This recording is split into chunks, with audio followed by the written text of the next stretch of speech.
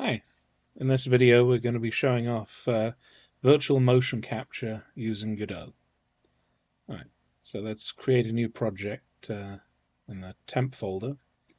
We'll just call it uh, yeah, VMC uh, uh, animate, animation test.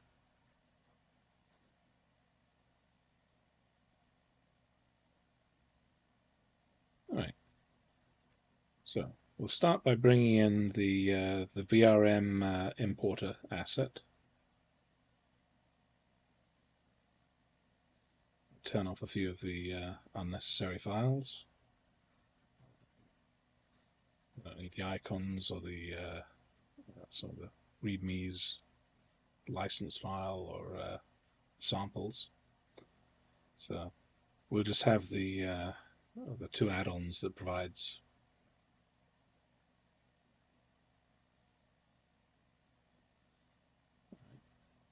can also import uh, the Godot VMC uh, tracker uh, asset. That's also available on GitHub.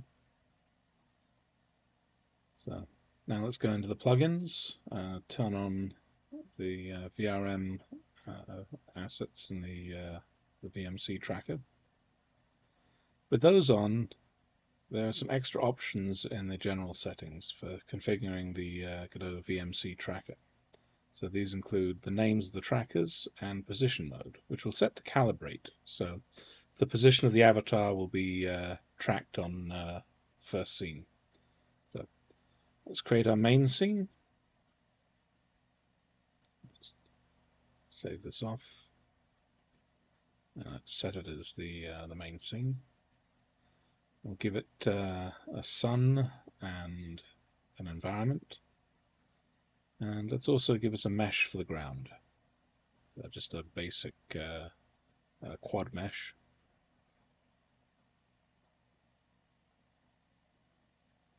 Make it, I think, 8 by 8 meters. There we go. Alright, so we'll save that. Now we just need an avatar. So, let's run up uh, VRoid Studio, which is a free download. I go and pick a, uh, a template model to create. You can customize it if you want. Uh, pick different uh, hairstyles. Uh, oh, let's uh, let's just go with one of the basic ones. There we go.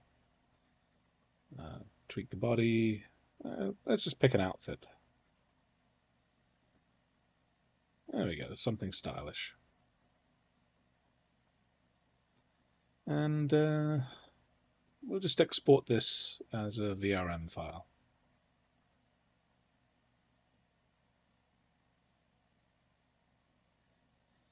So it requires you to enter some basic information, the name,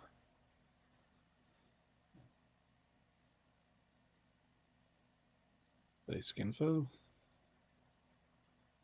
and we'll let everyone do anything they want with it.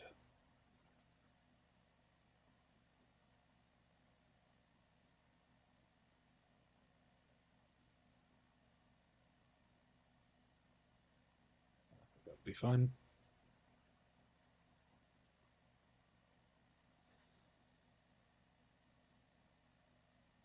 Takes a few minutes to bake the data, well, a few seconds actually. And well, let's go and save the uh, the file. So we'll create a new uh, uh, assets folder, and we'll just uh, drop our uh, uh, test avatar. it's a folder by itself.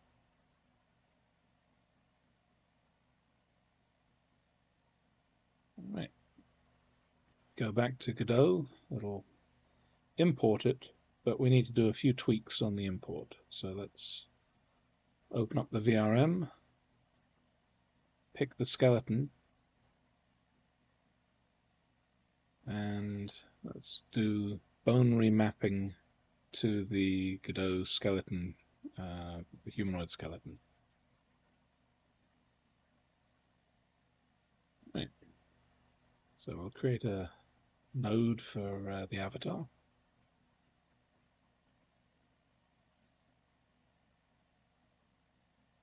We'll drop this in there. We need to make it uh, editable so we can pick the uh, the skeleton. And now we'll add an XR uh, body modifier to drive the avatar. So we need to copy the name of the body tracker from the project settings and we'll put that in as the tracker that we're going to use to drive this body. And we pick a target skeleton of the avatar skeleton. And yeah we need to have a camera for this. Otherwise not going to see too much. So bring the camera up a bit. Position it in front of the avatar. And we'll flip the avatar around. Because we don't want it facing the same way as the player. We want it to be facing towards the player. So I've got a copy of XR Animator which again is a free download. Uh, I'll put a link in the video to it. And I'll just kick that off. Yeah. Start the camera using my webcam. Start uh, uh, tracking of the, uh, the full body. There we are. There's my ugly face. Hey. And Yeah, let's actually turn on uh, VMC packet generation. And let's see how this looks. Alright, basic motion. Now, if I move my mouth, absolutely nothing happens because this character doesn't have uh, um, the standard 52 uh, face bones for you know facial uh, blend trees for moving stuff. So we get rid of this avatar, and I have one that I downloaded earlier, which happens to have the ARKit 52 uh, blend shapes in there. So I'll copy this into the test avatar folder.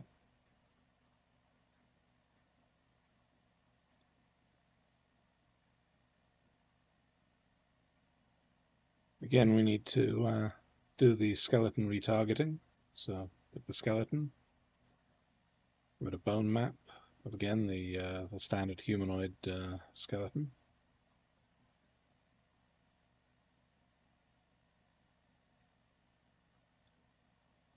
we can drag that in.